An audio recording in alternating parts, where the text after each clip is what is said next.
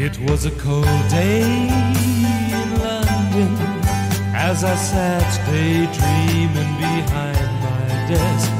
I was looking at a travel poster, Hawaiian girl and South Sea dress, thinking of what she would be like. Just then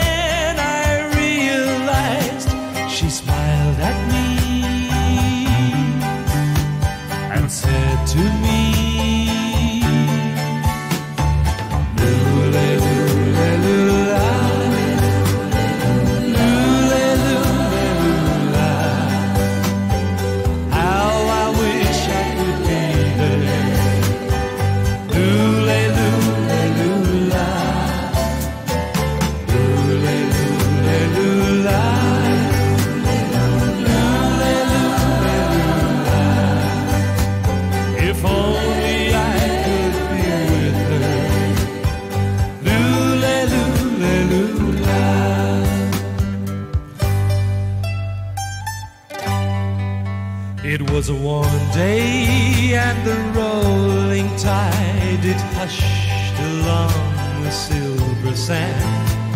And I was there beside her, and I hoped my dream would never end. But as I looked into her eyes, a cloud passed across the sky. It was half past and time for tea. But I still hear